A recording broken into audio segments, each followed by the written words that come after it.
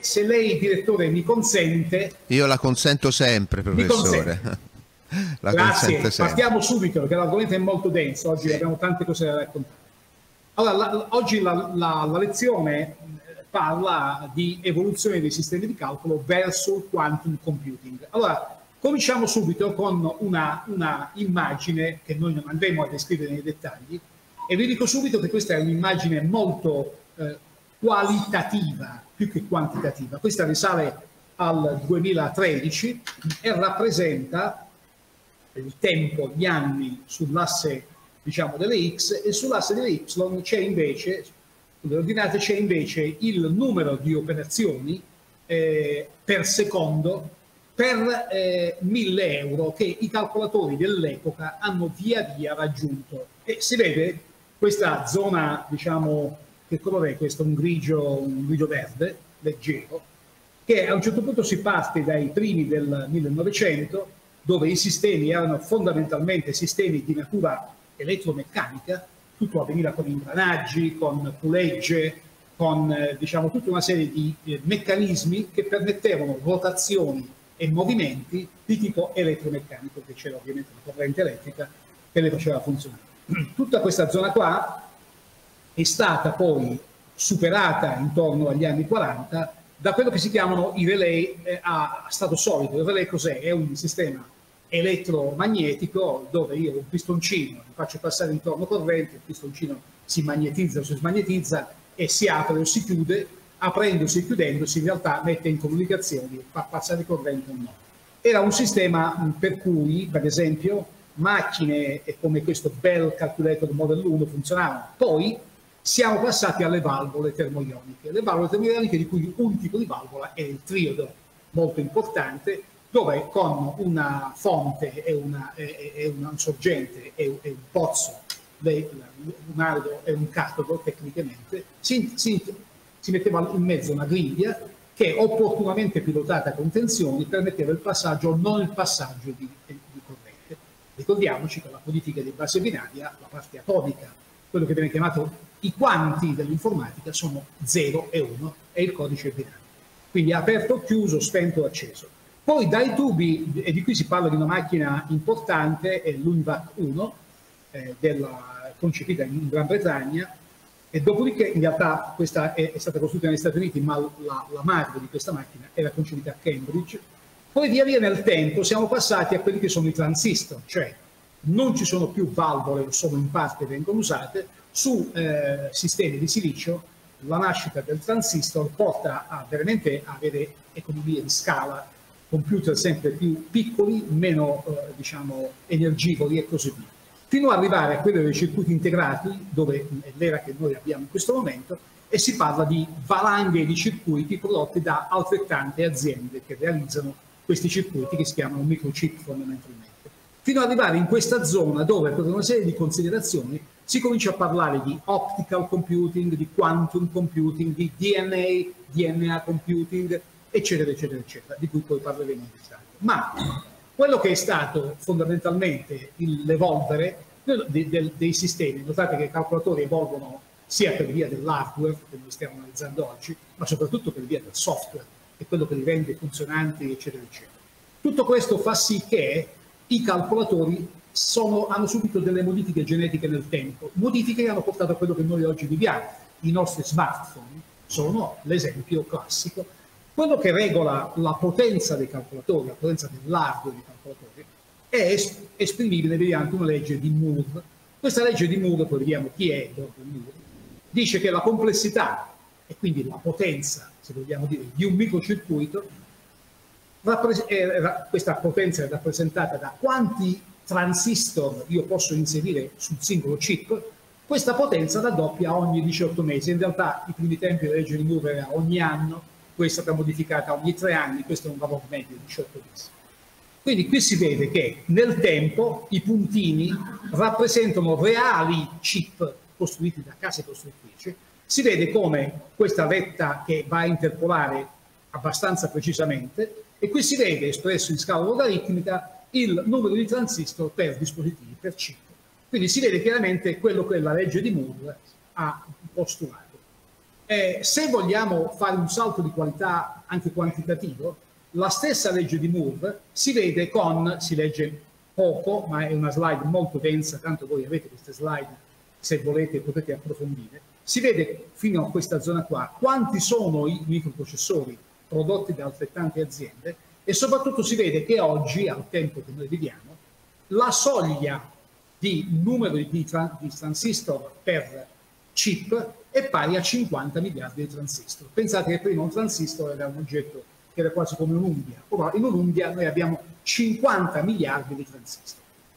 Ma questi 50 miliardi di transistor possono essere anche di più se sono chip legati alle memorie, possono essere anche un po' meno se sono chip legati ai processori, ma quello che conta è che per esempio l'IBM eh, ha messo a punto il primo chip da 2 nanometri, vi ricordo che un nanometro è 10 alla meno 9 metri e che 2 nanometri è una dimensione inferiore alla larghezza del singolo filamento di DNA umano, vi ricordate la doppia elica di Watson e Crick, DNA. E qui il filamento, uno dei filamenti, è, è, diciamo, è, i 2 nanometri sono inferiori a questa dimensione.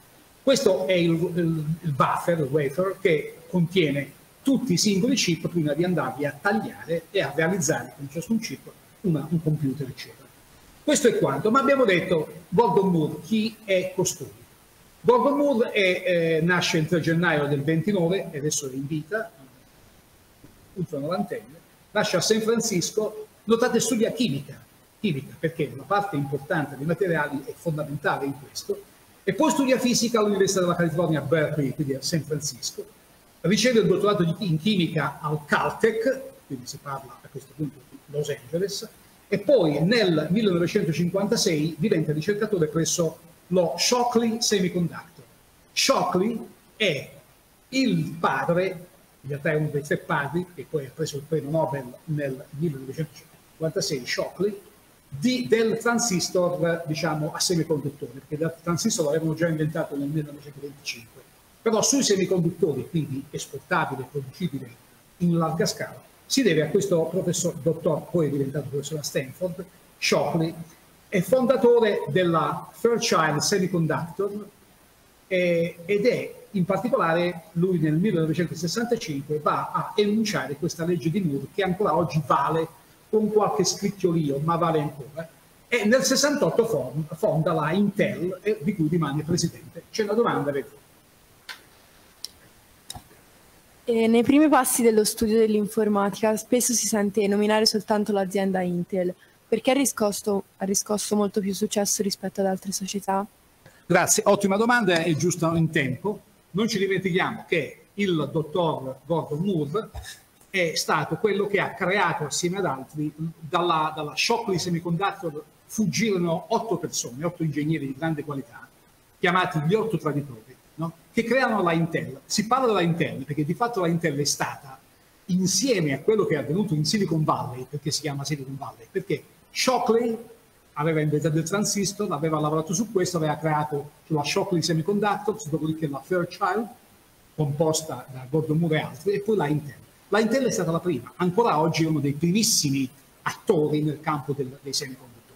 Quindi praticamente tutto questo avviene perché persone di questo calibro hanno lavorato molto.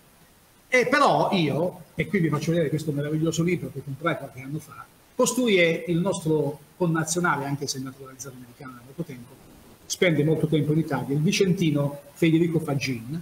Federico Fagin è, è nato a Vicenza appunto nel 1941, è un fisico, inventore e imprenditore italiano, naturalizzato nel 68 negli Stati Uniti, è quello che viene ricordato e per quello che ha creato la tecnologia SG T, che sta per Silicon Gate Transistor, è una tecnologia che permette di avere negli strati, se vedete la superficie, ci sono il transistor ha una sorgente e un pozzo. Sotto la superficie, dove si scende in profondità, c'è una connessione sottile che regolando quello che c'è sotto, io permetto al transistor di funzionare con uno passacorrente o con zero. Lui era il, il, il primo a aver pensato a questa tecnologia quando già lavorava anche lui in Fairchild, perché lui è passato dall'Olivetti, poi è andato negli Stati Uniti, poi ha cambiato aziende e così via. Ma eh, in particolare a lui si deve il primo microprocessore, che è la Intel 4004, notate, aveva 4 bit, Questo poi è stato responsabile dello sviluppo dei, dei processori successivi, di cui una serie abbiamo ancora a bordo oggi sui nostri eh, calcolatori. È sviluppatore di questa tecnologia MOS Silicon Gate Technology, ha fondato la Zilog o la Zilog la Zilog, cui, da cui il famoso processore Z80, e siccome lui non si faceva ma mancare nulla, fondò e diresse la Synaptics, che è la prima società ad aver realizzato touchpad e touchscreen. Quindi voi capite benissimo quanto lavoro questo Federico Faggini. Questo è un libro bellissimo, molto denso, che racconta in dettaglio anche i meandri, perché lui fu osteggiato a livello statunitense da aver realizzato, da realizzato il primo microprocessore. Lo voglio un po' tenere in disparte, perché poi la storia il tempo gli ha dato ragione. Bene, qui invece siamo più vicini, siamo a, alla calcolatrice elettronica pisana, eh, frutto dell'idea di Enrico Fermi di investire dei soldi a Pisa, e questo avviene nel 1954, una lettera famosa tra Fermi e il rettore dell'Università di Pisa, Enrico Avanzi, dice che cosa facciamo con 150 milioni dati a disposizione dalla provincia di Lucca, Livorno e Pisa. Ci fate un acceleratore. In realtà l'acceleratore non fu costruito a Pisa perché fu costruito a Frascati, vicino Roma, e, e Fermi disse ma perché non vi costruite un calcolatore risolvendo il problema? To buy or to build. Cioè io compro un calcolatore, non è che se ce ne fossero tantissimi all'epoca, parliamo degli anni 50, i primi 50. Però disse Enrico Fermi, costruitevi un calcolatore perché da quello che voi imparerete potete generare nuova conoscenza. Bene, pensate al CNUCE, il Consiglio nazionale dell'Università, il Consiglio nazionale delle ricerche, il grande centro di calcolo in via Santa Maria, nel 65, pensate al 1968-69 all'inizio della facoltà, della facoltà di, eh, del, del corso di laurea in scienza dell'informazione, e tutto quello che è successo, incluso tutto quello che ci circonda, il polo di Navacchio, la, la grande esperienza delle università di ingegneria che, che, hanno poi preso il testimone su altre questioni. Questo nasce da queste, da queste persone. Ma questa macchina era fatta appunto da 3.000 tubi termoionici, 2.000 transistori, perché era poco che erano venuti fuori, e poi 12.000 diode al germanio. Questa sono, eh, eh, purtroppo purtroppo non, non, è venuta come fotografia, peccato moltissimo, nel 74 questo ero io, senza baffi, un po' più giovane, che stiamo inaugurando il, il, il, il IBM 370-168, che era una macchina in cui la memoria è qua, che non si vede purtroppo. Poi pensate a un armadio fatto dove c'è Claudio, ci sono io, questo armadio purtroppo non si vede, e dentro questo armadio c'è questo signore che è il tecnico dell'IBM, che si chiama Arturo Salpoli al tempo, e praticamente questo armadio era un megabyte. Voi pensate ai vostri 8 giga di memoria normale o 128, 256 giga che avete sui telefonini, pensate cosa poteva essere questo. Quindi strada se n'è fatta tanta per via della tecnologia. Tutto questo però non è dovuto solamente al problema di avere dei chip molto più densi in numero di transistor o dei, dei cicli di clock più veloci, i famosi 1.6 GHz 2.6 GHz e così via, ma è dovuto al fatto che il modello di John von Neumann, che era appunto un matematico fisico e informatico, diciamo, che ha lavorato a Princeton, di origine inglese, era basato sul concetto di programma memorizzato, cioè io ho una unità che si chiama Central Processing Unit che elabora le informazioni. Cosa sono le informazioni primarie? Le istruzioni, istruzioni e dati si trovano all'interno una memoria. Prima i computer, i primi computer, l'ETSAC, l'EDVAC, avevano un pannello per programmare e i dati venivano da un'altra parte. Qui è la prima idea del modello di John von Neumann di avere istruzioni e dati nello stesso diciamo, contenitore che si chiama memoria. La CPU prende le istruzioni, le esegue, le istruzioni vanno a prendere i dati della memoria e così via. E le memorie si riempiono per via di un input, che può essere una tastiera, può essere un ripare, un mouse, quello che volete, e danno in output sul video, sulla stampante. Questo modello è un modello fondamentale. Cosa succede se io prendo questo modello e lo metto in parallelo, ne prendo tanti? Beh, è come un carretto, invece di essere trainato da un cavallo, il carretto è trainato fondamentalmente da 10 cavalli, quindi è ovvio che si va molto più velocemente. Scusate, non volevo fissare la radio eh, quindi a questo punto che succede? Succede che il parallelismo ha creato tantissime aspettative. L'estremo del parallelismo è l'internet e in particolare l'internet delle cose, dove io a una nuvola, che noi definiamo internet, posso aggiungere qualsiasi dispositivo intelligente o smart e quindi fondamentalmente questo è un computer parallelo di miliardi potenzialmente di oggetti. Allora il parallelismo. Poi cosa è successo? Il parallelismo è stato portato all'interno della CPU, quindi una CPU non è fatta in maniera monolitica in questa maniera, la CPU e basta, ma una CPU è divisa in pezzi più piccoli che si chiamano core. Infatti questi telefonini, quanti core ha? 4, 8, 6 e così via. Ciascun core è come se fosse una CPU un pochettino più piccola, con, con qualche piccola cosettina. Poi, non bastando questo, i calcolatori sono arricchiti di un altro tipo di unità molto specializzata, che si chiamano General Processing Unit, Graphic Processing Unit, che sono le cosiddette GPU, che nascono dal fatto di dover fare i filmini animati dei giochi, dei videogiochi, e questi oggetti riescono a lavorare moltissimo bene le matrici e quindi diventa un nuovo elemento che si somma alla CPU. E quindi per esempio Nvidia o Nvidia, che è una dei principali produttori di GPU al mondo, di fatto fa vedere questo disegnino in cui la CPU prende i dati, prende le, le istruzioni, passa e le GPU lavorano in parallelo per i fatti loro. A questo, non, per non farsi mancare nulla, si aggiunge una nuova unità che si chiama TPU, che sta per Tensor Processing Unit. I tensori sono delle matrici multidimensionali. L'intelligenza artificiale usa matrici per analizzare il linguaggio umano, per vedere immagini e così via. Tutto questo fa sì che noi abbiamo oggi tre livelli, la CPU classica, la GPU e la TPU e le TPU nel caso di sistemi per l'intelligenza artificiale. Questo è l'evolvere di tutto quanto. Google ha cominciato a costruire le sue TPU, questa è un'altra fotografia che purtroppo non, viene, non c'è, non capisco perché, e poi questo invece è eh, Sundar Pichai, che è l'amministratore delegato di Alphabet, che fa vedere che dietro diciamo, il sistema di GPU, TPU e, e CPU del, di Google c'è una valanga di oggetti che vanno a raffreddare questo mostro, che purtroppo in fotografia non so perché non è più. Detto questo, a questo punto noi abbiamo quindi, eh, cambiamo eh, subito, passiamo la, la parola a, a, Claudio Cicconetti, abbiamo visto che i computer si sono evoluti, d'accordo, in una certa, con una certa velocità. Siamo, oggi siamo più o meno a 10 alla 9 operazioni al secondo per quanto riguarda gli smartphone. Diciamo, flop, flop eh, operazione più, operazione meno. I server si arriva a 10 alla 12, quindi mille volte superiori. I supercalcolatori, quelli con i muscoli robusti, le Ferrari della situazione, si era arrivati a 10 alla 15, i cosiddetti petaflops, quindi 10 alla 15 operazioni per secondo. E si pensava che prima di qualche anno, il 25, non, questa era quella che veniva chiamata diciamo, la, la, la, il livello dei, dei petaflops dell'epoca, si pensava che arrivare a 10 alla 18, quindi ancora mille volte più avanti, la cosiddetta exascale, potesse, potessimo noi arrivare intorno agli anni 25, 26, 27, perché per costruire queste macchine ci voleva una centrale nucleare attaccata per produrre energia per tenerla in vita. Beh, questo non è avvenuto perché? Perché è stato realizzato Frontier. Frontier è un, una macchina spaventosamente potente, la Ferrari oggi, diciamo, prende la Red Bull, non sarebbe troppo d'accordo, insomma una macchina molto potente, eh, la più potente, questa è una macchina enorme, vado avanti, da 1.1 10 alla 10 alla eh, 18 operazioni al secondo, è il più veloce supercalcolatore al mondo.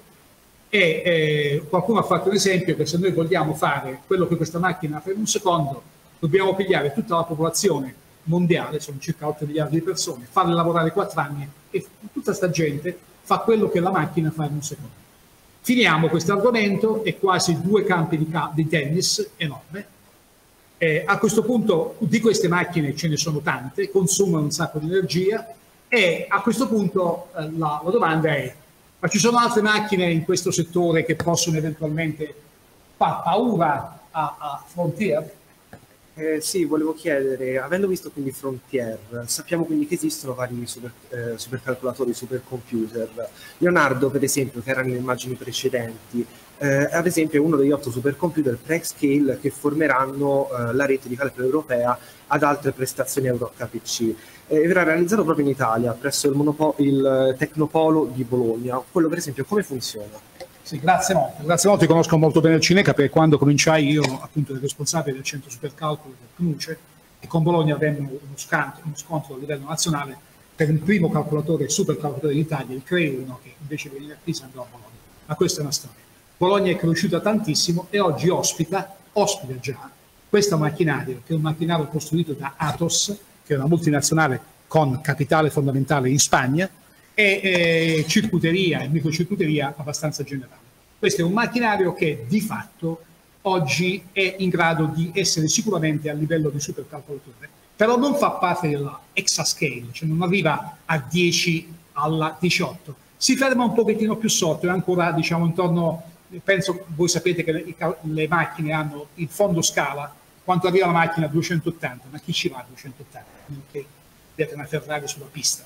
Tipicamente si va intorno ai 130, 140, 160, 180, dipende da dove siete andare. Il computer è uguale i supercalcolatori hanno un fondo scala e poi hanno una velocità che viene misurata con i benchmark, che sono dei sistemi, si chiama l'IMPAC, per risolvere i sistemi di equazioni lineari, che vanno a testare quanto la macchina è potente ai muscoli. Ebbene, Leonardo è al quarto posto nei supercalcolatori. Il primo è Frontier, Leonardo è al quarto posto. Mentre Frontier ha qualcosa come eh, circa 9, eh, 9 eh, milioni di core attaccati, Leonardo ne ha un milione di core e la Frontier ha superato l'asticella di 1 eh, per 10 alla 18 e invece Leonardo è ancora sotto questo, è a livello di 145 eh, petaflops, dovrebbe essere l'ordine di grandezza del, della velocità in cui va sotto stress. Questo è quanto. A questo punto voi capite quanto importanti sono i microprocessori e quindi l'importanza strategica dei microprocessori. Ci sono domande su questo? Sì, volevo chiedere che tipo di effetti può provocare la carenza di microchip? Ieri sera hanno fatto una trasmissione meravigliosa di quasi due ore su questo, su, sulla, sulla, sulla, RAI, su RAI 3, che si chiamava La guerra dei, dei, dei chip. E la carenza dei microchip l'abbiamo vista durante il Covid per motivi di produzione, ma siccome i microchip sono al cuore di ogni dispositivo elettronico, incluso i droni per gli attacchi strategici, missili, le bombe, eccetera, purtroppo per noi, no? eh, ma su tutti i sistemi di intelligenza artificiale e così via c'è un microprocessore sempre più evoluto, questo è diventato un problema fortemente geopolitico. Tant'è vero che gli Stati Uniti hanno definito un act, una legge, per incentivare a riportare in patria tutte le fabbriche di chip e microchip che sono sparse per il mondo, tipicamente in Sud Corea, Taiwan, in Olanda, c'è anche la Philips che fa anche pezzi, eccetera. Quindi i, microchip sono fondamentali. La guerra dei microchip è già in atto, si tendono le grandi superpotenze a eh, farsi i rispettucci, in questo momento il vantaggio è per gli Stati Uniti rispetto alla Cina, ma la Cina sono tanti e molte menti e hanno molti investimenti. In mezzo c'è il vaso di coccio che è l'Europa, che nonostante la nostra eh, diciamo, Presidente della Commissione Europea, la, la von der Leyen, abbia fatto partire un chip act anche per l'Europa, noi dobbiamo, diciamo, abbiamo lo scotto di avere ancora eh, diciamo, delle eh, sudditanze nei confronti di altri e quindi non ci possiamo esprimere anche perché i 27 paesi oggi dell'Unione non sono quasi mai all'unisono sulle grandi questioni strategiche. Anche questa è un dei problemi. Per cui è un fatto importantissimo. Le prossime, le prossime attività geopolitiche passeranno anche per il microchip. A questo punto noi ci poniamo la domanda. Prego Claudio. Buongiorno a tutti. Allora, è possibile superare i limiti degli attuali computer? Sì, certamente è qualcosa che vogliamo fare, andando a realizzare quello che era il sogno del grande fisico Richard Feynman, che aveva previsto e teorizzato la possibilità di avere dei computer quantistici. Un piccolo passo all'indietro, meccanica quantistica. La meccanica quantistica, in breve, è una branca della fisica che descrive fenomeni che avvengono su scale molto piccole, subatomiche, quindi non perché ci siano due diverse fisiche che governano l'universo, la quantistica e la non quantistica, le leggi sono uniche, però agli effetti a, per noi, gli oggetti che tutti i giorni vediamo e tocchiamo, eh, non eh, concretizzano, non possiamo vedere gli effetti quantistici perché gli oggetti sono costituiti da un grandissimo numero di particelle subatomiche i cui effetti quantistici si compensano e si annullano di fatto. Quindi se prendiamo una palla di tennis in mano, dentro ci sono degli effetti quantistici che non vediamo. Quello che fanno i computer quantistici è invece andare a sfruttare questo tipo di fenomeno. Allora, la meccanica quantistica eh, è, è, è, nata all'inizio del secolo scorso, quindi c'è il fisico Max Planck e, ed altri, Max Planck è quello di figura, eh, che eh, introdusse, si accorse del fatto che alcuni fenomeni naturali, la luce in particolare, avvengono in maniera non continua, come la, la, la corrente che scorre su un filo elettrico, ma in maniera discreta, a pacchetti. La luce era fatta a pacchetti. Questi pacchetti li ha chiamati anche quanti, e quindi fortunatamente l'ha chiamati quanti abbiamo la meccanica quantistica invece di continuare a chiamarli pacchetti perché meccanica pacchettistica sarebbe stato davvero terribile come termine. Eh, tantissimi scienziati hanno fatto poi eh, ricerca a inizio del Novecento, eh, conseguendo anche numerosi premi Nobel, alcuni sono citati eh, nella, nella, slide da Heisenberg a Schrödinger, eh, fino ad arrivare al recentissimo eh, premio Nobel della fisica dell'anno scorso, che è, stato, ehm, che, è stato, dato a Asper, Closer e Zeilinger, che rivedremo successivamente. Ci sono molte tecnologie moderne che sono basate eh, sulla meccanica quantistica e quindi è qualcosa di tutt'altro che esoterico e magico. Qualcosa che noi tutti i giorni utilizziamo il laser, eh, molti scienziati utilizzano microscopi elettronici, se abbiamo bisogno di una risonanza magnetica nucleare per un esame diagnostico, tutte queste tecnologie si basano su principi della meccanica quantistica, quindi è qualcosa di, che ha un effetto pratico già oggi sulla eh, sulla popolazione, su di noi, quotidianamente. Dalla meccanica quantistica andiamo a, adesso verso due nuove invece applicazioni che sono quella del calcolo quantistico o quantum computing e comunicazione quantistica, quantum communications, che a differenza del laser e della risonanza magnetica adesso eh, in, questi, in, questi, anni eh, sono in corso di emergere e diventare eh, un qualcosa che possiamo effettivamente usare per migliorare le nostre vite. E di questo discuteremo nei prossimi minuti. Anche questa slide, oh, come potete non vedere... Eh, posso, ho la, la versione eh, vediamo se riusciamo a recuperare. No, no, no, non fa niente, se, possiamo anche andare a braccio. Il bello della diretta, dicono, dicono eh, gli esperti. Eh, allora, il, eh, nei computer quantistici sì, andiamo ad evolvere il bit di cui ha già parlato eh, Mimmo precedentemente.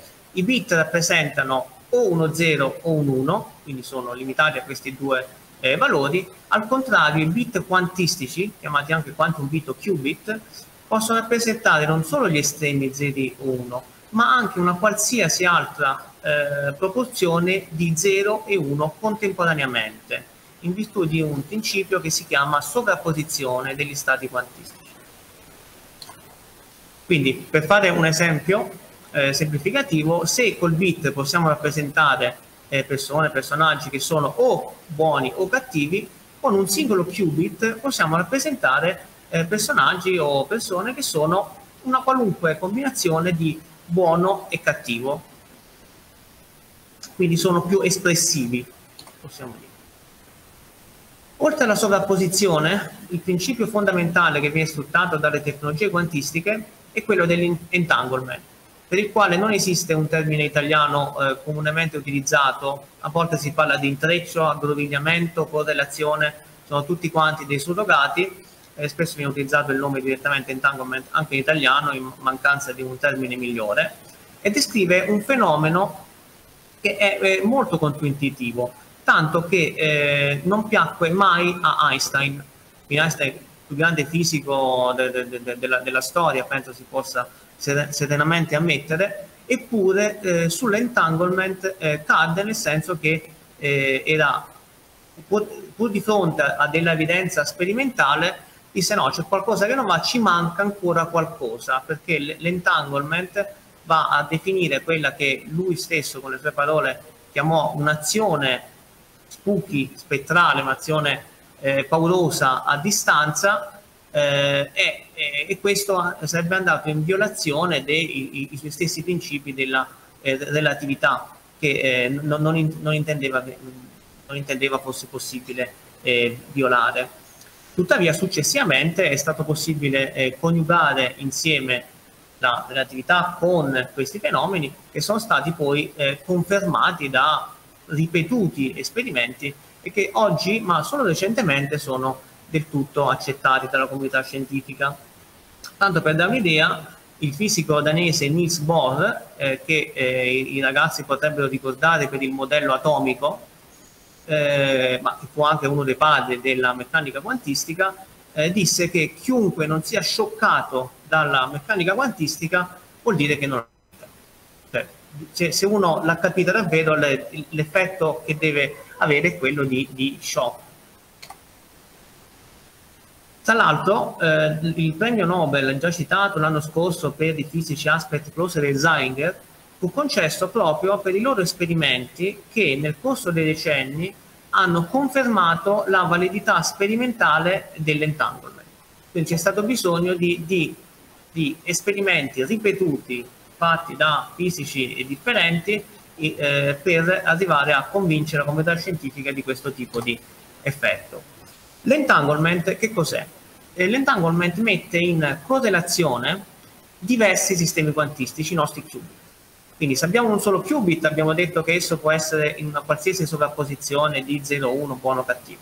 Se abbiamo più di un qubit e ne creiamo un insieme, per esempio 3, come vedete questa volta nella figura, noi possiamo andare a definire un sistema quantistico più complesso che mette insieme diverse caratteristiche, ciascuno in una certa eh, proporzione. Quindi abbiamo buono e cattivo in una qualunque proporzione, insieme a simpatico o antipatico, insieme a forte e debole, per esempio. E questo eh, fenomeno consente nei computer quantistici di andare a espandere in maniera esponenziale la quantità di informazione che si può codificare all'interno di un insieme di qubit.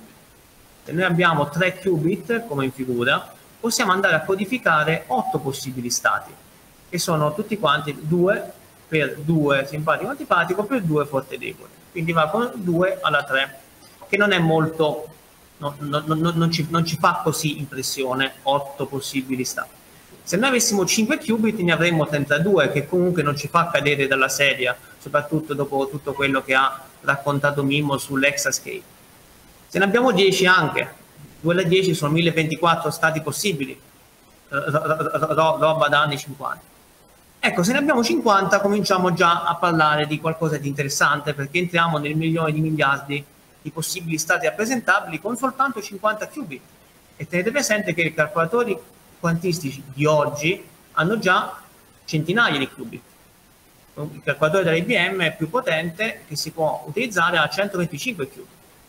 E, e, e sempre più ne stanno costruendo. Se pensiamo quindi con una manciata di qubit, per esempio 500 come nella slide, eh, abbiamo una quantità di stati rappresentabili che, che è, eh, è impossibile da immaginare. Cioè, è infinitamente superiore al numero di atomi dell'universo, atomi di qualunque universo ci possa venire in mente. Con alla fine 500 qubit, che sono un qualcosa che sta letteralmente sulla punta di uno spino. Quindi da qui si comincia a capire come la sovrapposizione insieme all'entanglement ci consentano di avere eh, una, un aumento delle capacità computazionali che è inimmaginabile per i computer tradizionali, dove non esiste questo tipo di, di incremento esponenziale dai bit alla quantità di informazione che è possibile rappresentare. Ad esempio, un computer convenzionale, anche super, un supercomputer di quelli visti finora, avrebbe bisogno comunque di un tempo incompatibile con, con la, la, la, vita umana per trovare i, i fattori primi di un eh, numero con, eh, rappresentato sul 2048 bit, come quelli che si utilizzano quotidianamente per le comunicazioni sicure su WhatsApp o sui siti web. Al contrario, il computer quantistico può realizzare questa operazione in pochi minuti. Quindi parliamo di scale di potenza che sono incommensurabili. Come si fa a realizzare questi qubits?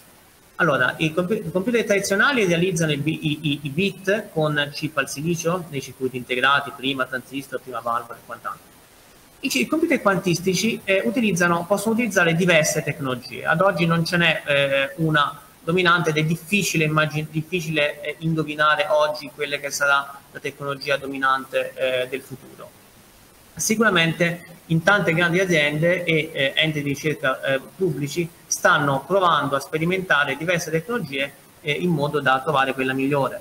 Alcune di queste tecnologie, quelle in particolare basate su semiconduttori, eh, richiedono purtroppo che i qubit siano molto freddi molto freddi vuol dire vicini allo zero assoluto, quindi a meno 272 gradi Celsius, che è qualcosa di scomodo da portare in tasca. Il, ne, no, notizia di, di cronaca, 2019 pote, qualcuno potrebbe ricordare che eh, Google annunciò di aver raggiunto la supremazia quantistica. Eh, fu, grandi titoli eh, di stampa, eh, quello che avevano fatto in, in pratica era eh, realizzare su un computer quantistico l'estrazione di numeri casuali, che è una cosa che non, non, non è insomma, utile alla vita di tutti i giorni, ma che comunque fu possibile fare con un computer quantistico questa operazione che invece con un computer classico avrebbe richiesto i soliti migliaia di anni. Eh, battibecco con IBM che sosteneva invece che questa cosa non è vera, loro se avessero voluto potevano farlo ugualmente in poco tempo, ma comunque al di là di questi di discrezi tra le grandi aziende, eh, fatto sta che eh, nel 2019 fu raggiunta la prima delle sei eh, milestone, pietre miliari, definite da Google per raggiungere il computer quantistico quello in forma più completa, quindi quello che effettivamente potrebbe essere utilizzato per applicazioni pratiche alla portata di tutti quanti. Eh, molto recentemente, poche settimane fa, è stato annunciato di aver raggiunto la seconda milestone, eh, quindi dal 19 al 23, la prossima dovrebbero raggiungerla nel, tra due anni. Se va avanti così, eh, avrete computer quantistici, eh, mi riferisco in particolare ai ragazzi, per quando inizierete le vostre prime esperienze lavorative. Quindi se questa, questa tabella di marcia verrà rispettata, andrete a lavorare per la maggior parte della vostra carriera lavorativa futura, eh, la, alcuni di voi, se non tutti, lavoreranno su computer e con computer quantistici. Quindi è qualcosa che non è ipotetico eventuale, ma che eh, sembra essere eh, concreto, almeno secondo queste tabelle di marcia. Eh, un grande attore all'interno dell'ecosistema ehm, dei computer quantistici è l'IBM, l'Istituto di Informatica e Telematica è membro dell'IBM eh, Quantum Network, eh, quindi noi effettivamente possiamo utilizzare i loro calcolatori per eh, esperimenti. Eh, questa è una schermata presa dal mio computer con i calcolatori che possiamo andare a utilizzare in questo momento. Vedete 27 qubit, 7 qubit, perché con pochi qubit ci si può fare in realtà tanto, non sono come i bit tradizionali che con 27 bit non ci, ci faccio niente. Con questi qui ci faccio tanto e posso farlo tramite dei linguaggi di programmazione specifici oppure anche tramite delle interfacce visuali come quella mostrata in figura, in cui si possono comporre quelli che sono chiamati circuiti quantistici per andare a realizzare operazioni tramite il calcolatore che poi vengono effettuati nei superfrigoriferi allo 0 Kelvin in cui c'è effettivamente il chip. IBM eh, sta anche commercializzando un, un, un personal computer, quantum computer quindi c'è un computer che eh, non necessariamente va eh, operato all'interno di un laboratorio con personale specializzato e scienziati, ma che eh, se uno ha soldi a sufficienza può prendere e portare a casa. Quindi si vede lo spaccato di quel computer che quando è chiuso in realtà è, è, sembra uno scaldabagno e dentro ha per la maggior parte un super frigorifero e poi una punta di spillo di circuito integrato che realizza il, eh, i, i, qubit per eh, i quantistici per, la, per il calcolo un po' di vanto nazionale. Eh, una, una, la dottoressa Anna Gassellino è, è laureata, si è laureata 15 anni fa all'Università di Pisa e ad oggi eh, lavora al Fermilab a Chicago eh, ha ricevuto riconoscimenti e ingenti finanziamenti per andare a realizzare una tecnologia alternativa di computer quantistico rispetto a quanto stanno facendo Google, Microsoft, IBM. Quindi il governo americano ha dato un, un, un bel po' di, di dollari alla, a, alla, dottoressa per eh, questi studi, eh, il riconoscimento del fatto che, ehm, che ha fatto un'esperienza importante al CERN eh, di Ginevra sul, eh, sugli acceleratori e è riuscita a trovare un modo per utilizzare quella tecnologia per realizzare computer quantistici. Tra i riconoscimenti eh, citiamo la, nel 2017 ha ricevuto il premio alla carriera rampante eh, dal, niente poco di meno che dalle mani del presidente Barack Obama e eh, l'anno scorso ha ricevuto il New Horizons Prize che viene anche chiamato l'Oscar per la fisica, quindi importanti riconoscimenti a livello eh, mondiale.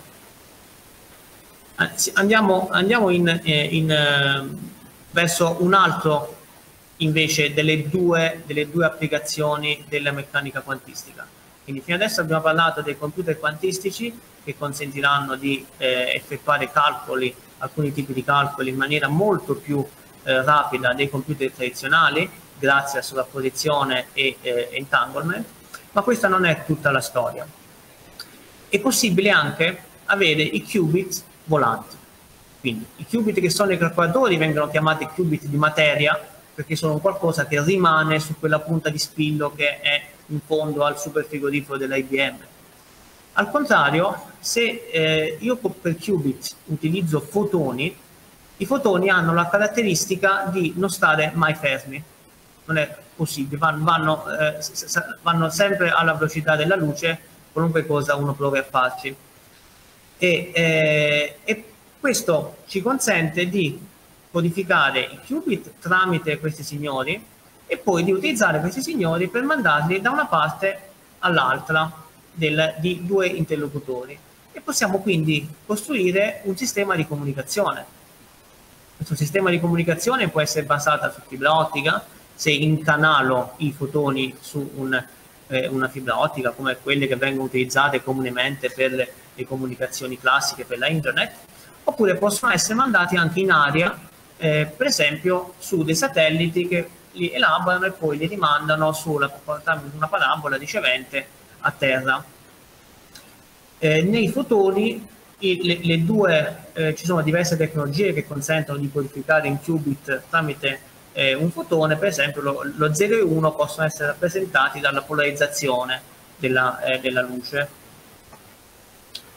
Questa non si vede e no, mi ricordo almeno cosa c'è, non fa niente eh, nelle, parliamo di cosa può, eh, a cosa può essere utile utilizzare le comunicazioni quantistiche. Passo indietro, comunicazioni classiche.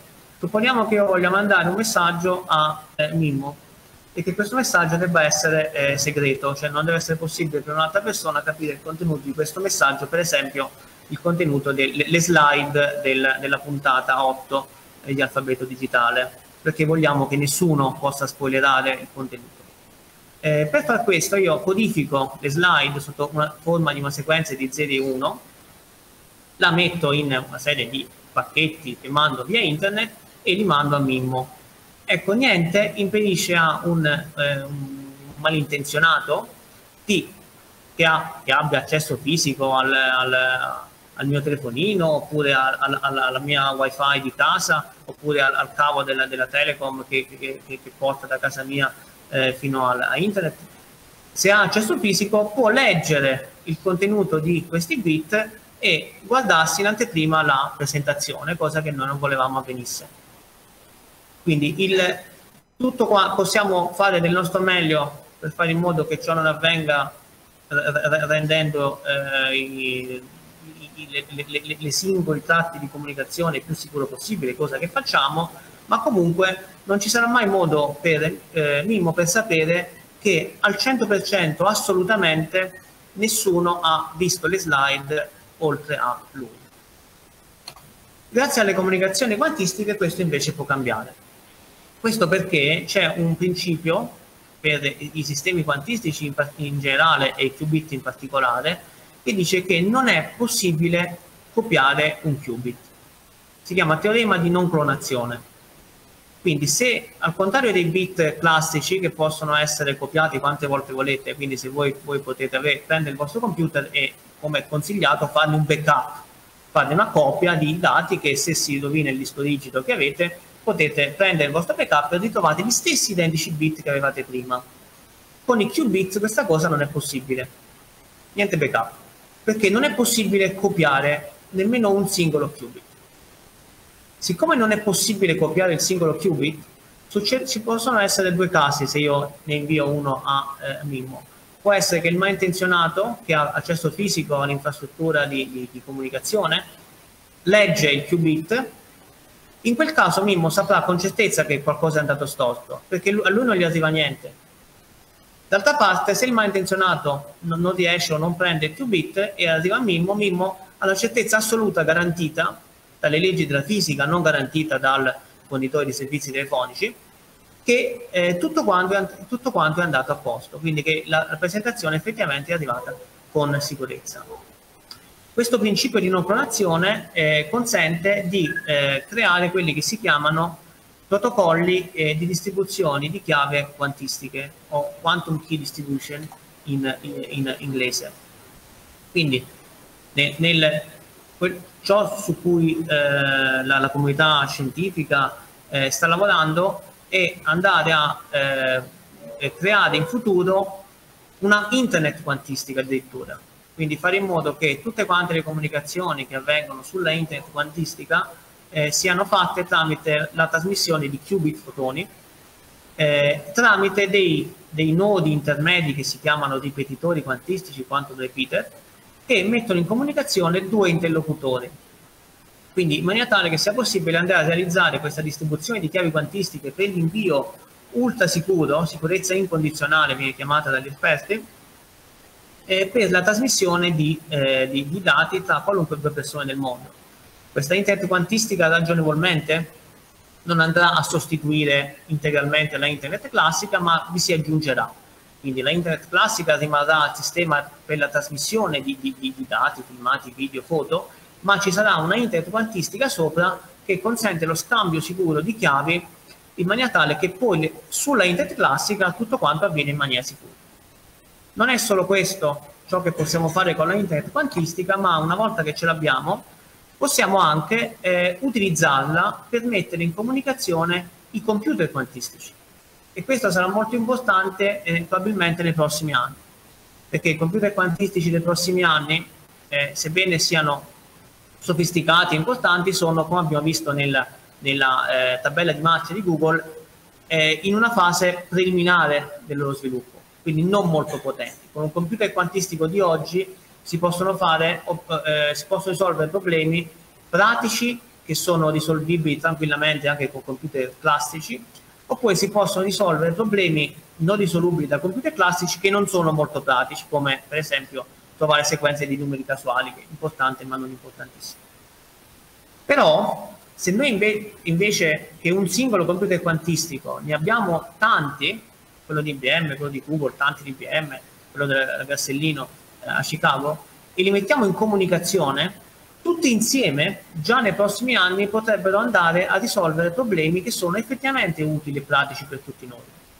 Ciò di cui abbiamo bisogno è, è che una internet quantistica che li colleghi, perché siccome i computer quantistici manipolano qubit, la internet classica che trasferisce bit non è adeguata per farli comunicare.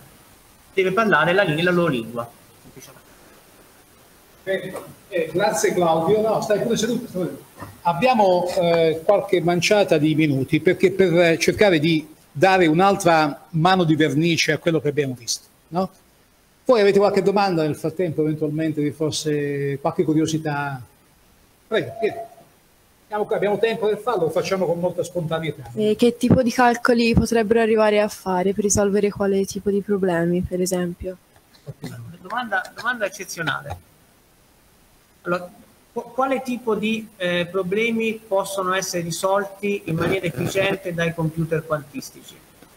Allora, eh, sicuramente eh, tutti quanti, quindi per diversi tipi di problemi. Per primi, tutti quei problemi che riguardano eh, la meccanica quantistica. Quindi, eh, e questo il sogno di Richard Feynman eh, era quello di eh, lui visse l'ultima parte della sua vita in un momento in cui i calcolatori classici erano in esplosione e, eh, e vide la possibilità di modellare la fisica classica tramite computer, eh, quelli che, eh, computer, quelli che chiamano convenzionalmente computer.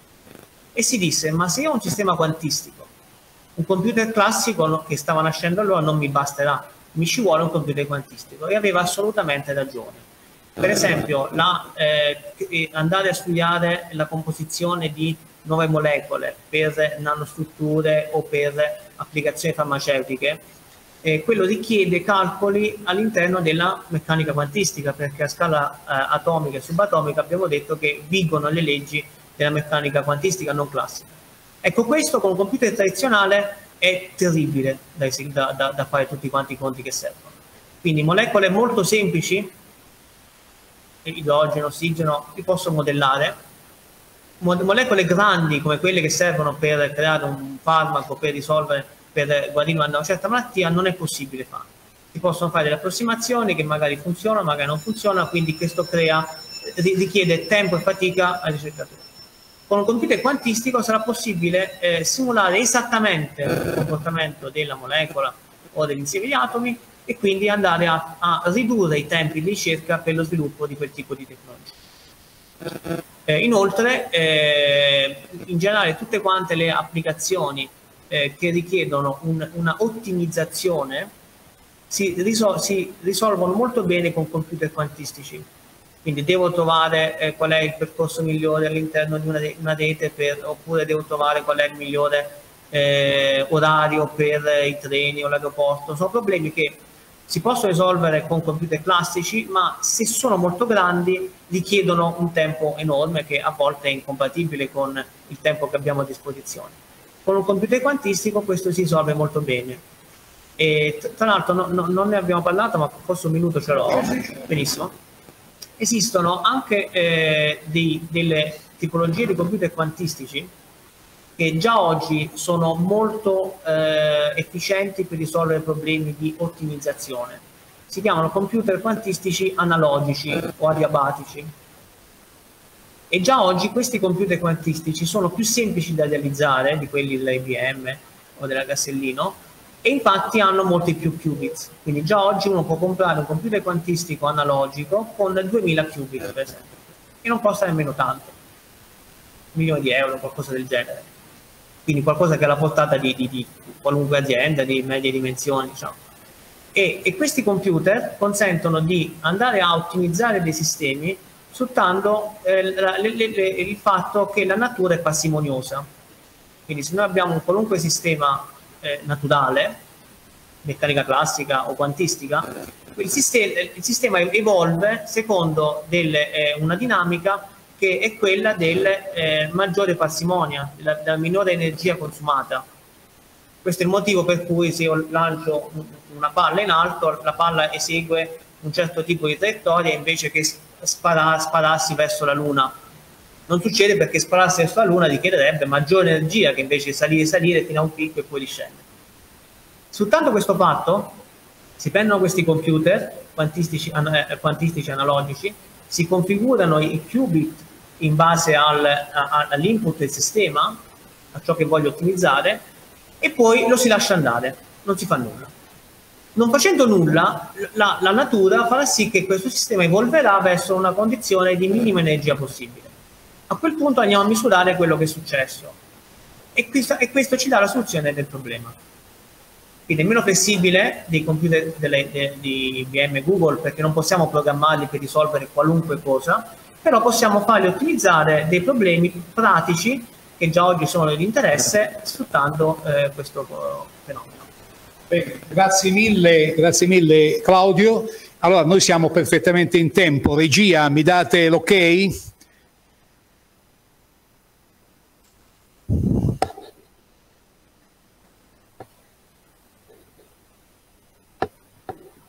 Sì, sì, sì. sì. Dicevo, quello che mi preme per chiudere questa, questa trasmissione è, è una, una, considerazione importantissima. Voi avete visto, parlando di computer e tecnologie quantistiche, che tutto nasce da idee nate all'inizio del 1900, idee nate all'inizio del 1900, Max Planck, diciamo fisico tedesco, che aveva ipotizzato questo discorso sulla meccanica quantistica, ave, a cui aveva aderito, come aveva detto prima Claudio Cicconetti, Einstein aveva aderito con qualche dubbio. Poi ade grande adesione da parte della scuola di Copenaghen di Niels Bohr, quindi struttura dell'atomo, eccetera, e discussione fino alla morte di entrambi fra Einstein e Bohr sulla questione che tutto poteva essere spiegato, questa, queste teorie inglobavano anche la meccanica classica, tutto poteva essere spiegato, ma Einstein formulava alcune problematiche di questo tipo. Allora, quello che conta è che a distanza, quindi 1900, siamo nel 2023, oggi noi parliamo di computer quantistici che ancora sono dei Sancta Santorum chiusi per, per i motivi spiegati bene, raffreddamento, impianti, eccetera, e poi complessità ancora di programmazione, ma abbiamo anche visto che da quando è stato creato il primo transistor a oggi abbiamo fatto salti da gigante. Quindi quelli che sono i tempi oggi previsti per arrivare a soluzioni di questo tipo nel campo del calcolo potrebbero essere drammaticamente ridotti nel caso in cui arrivi qualsiasi altra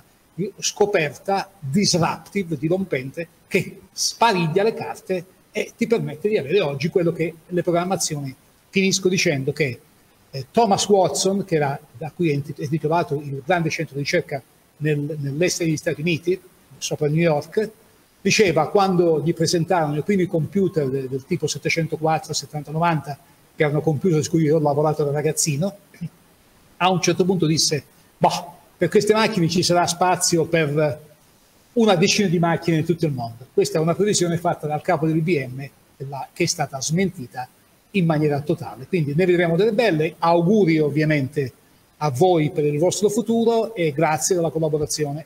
Buona giornata. Grazie, possiamo chiudere. La radio? Che succede alla radio?